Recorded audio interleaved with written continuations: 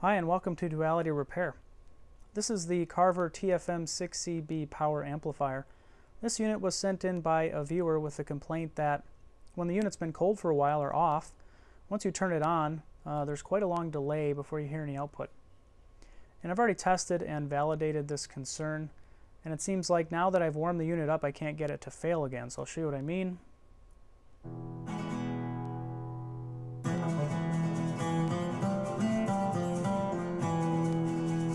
So it's working just fine right now.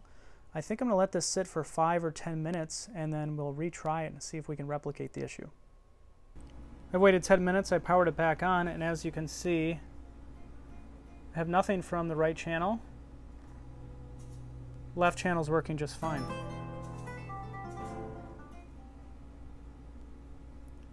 Not sure how I can make that right channel engage.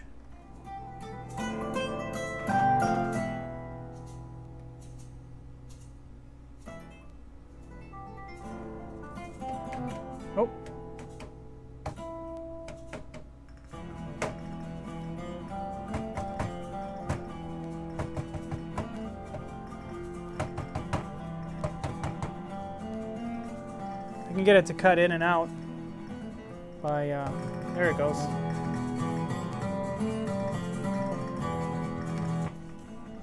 Yeah, just tapping on the top cover gets it to uh, engage and disengage.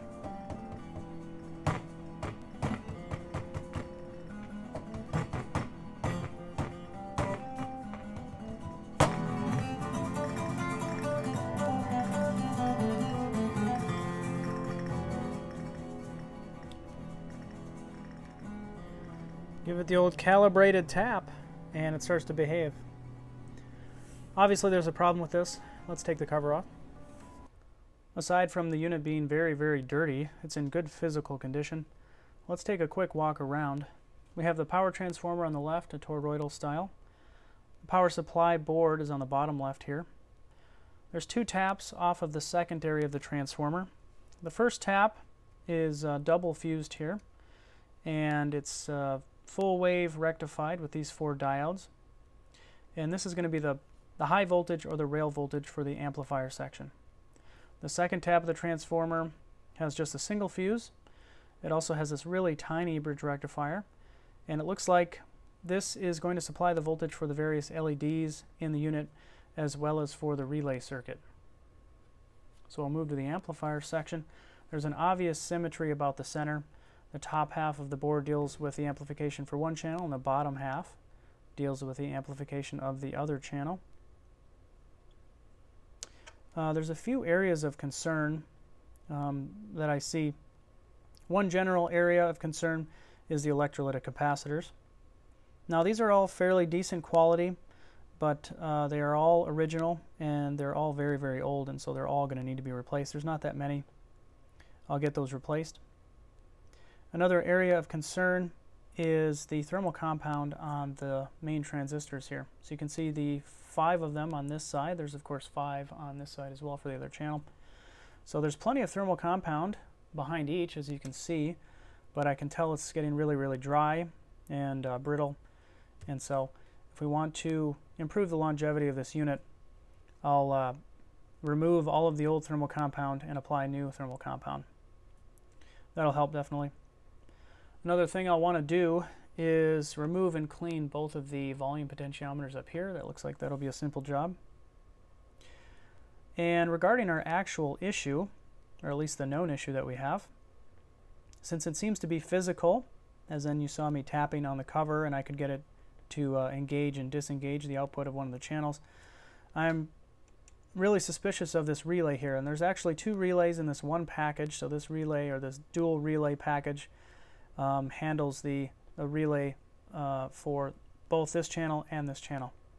And so I wouldn't doubt that if we took the cover off, we'd see some corrosion, and uh, no doubt that that would cause the inter an intermittent issue, connection issue.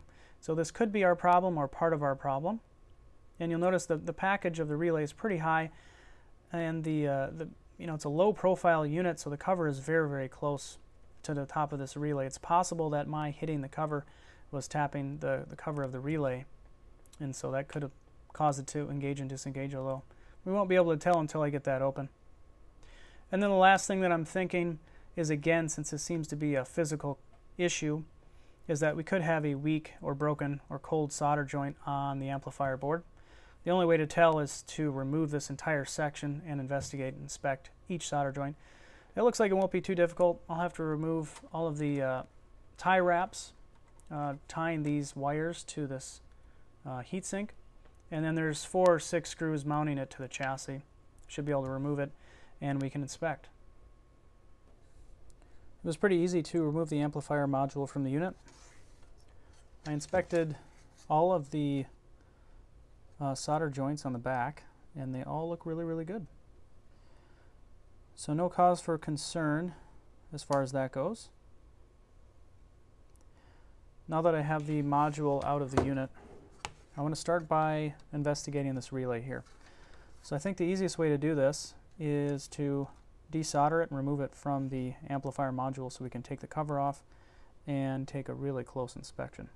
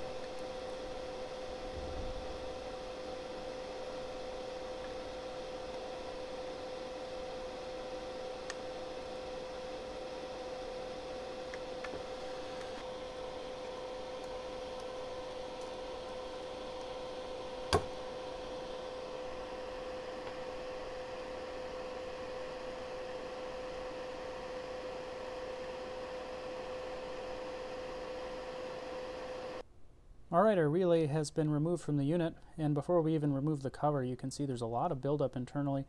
Looks like it's mostly on the AC side here, but um, definitely a lot of buildup.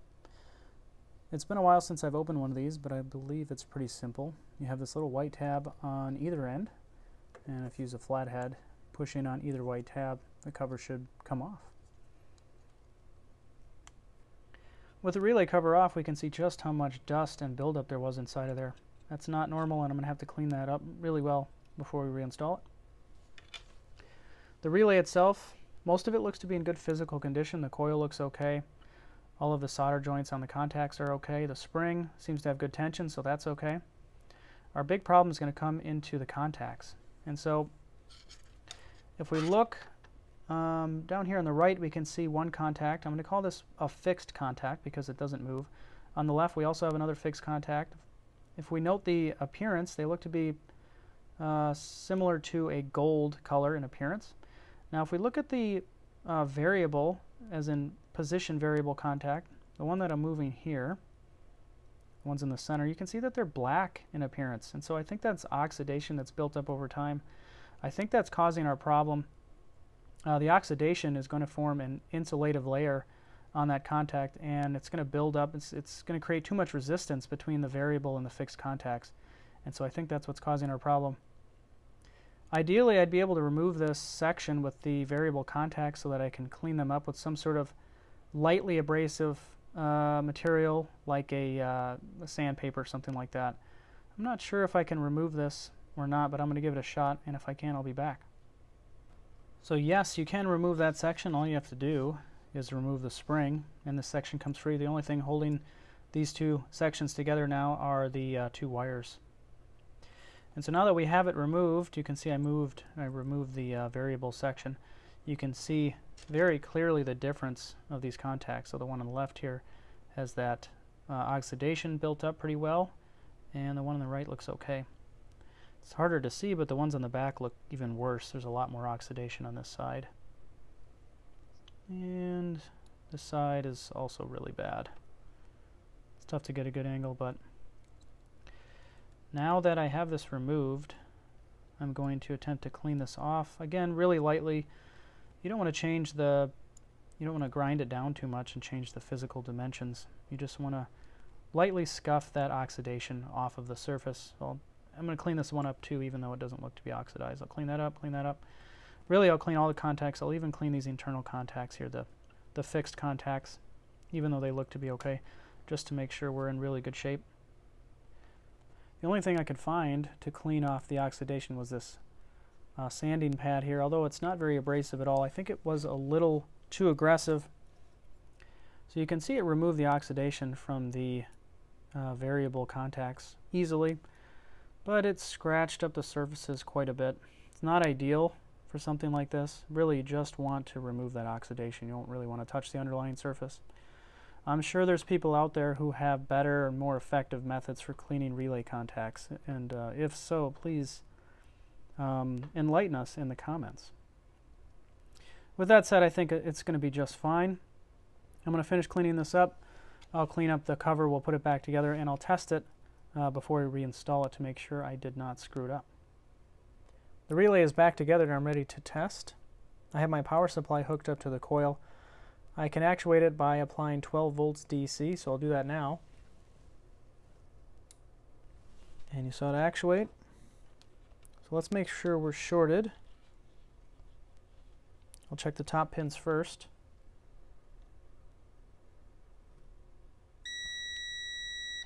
That one's good. We'll check the bottom now.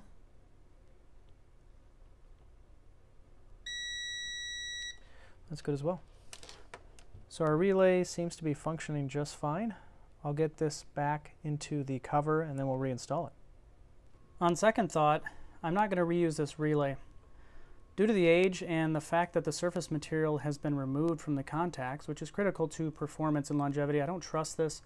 I wouldn't trust this in the unit for more than another one or two years. And so replacements for these are really widely available and inexpensive, so I've ordered a replacement. Before I can remove and replace the old thermal compound, I have to separate the amplifier board from the heatsink assembly.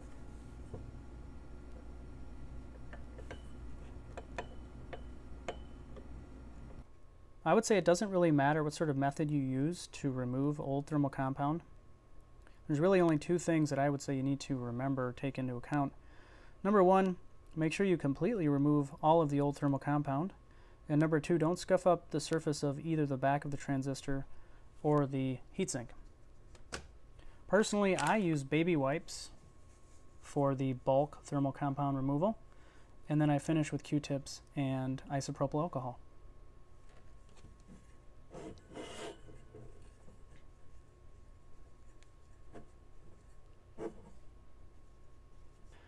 All right, we're all clean on the heatsink side as well as the back of the transistors on the amplifier board. I didn't notice this till I started cleaning, but behind each transistor is this mica style insulator. Most of them are in pretty good shape. There are a few though that look to be getting brittle and uh, ready to crack, so we don't want to risk that. I'm going to replace them with these thermal pads. These are nice because they're, they're flexible, they're durable, and they also require no thermal compound.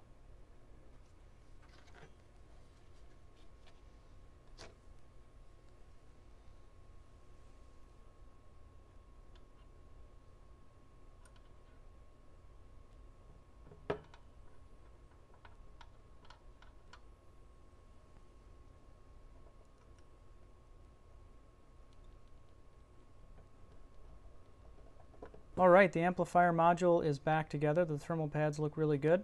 They're going to keep these transistors nice and cool for a long time. I'm going to leave this project for now while I wait for the new capacitors and the relay to come in. I have a few other projects that I can work on in the meantime. So stay tuned for part two where we'll finish the repair and the service and we'll test this.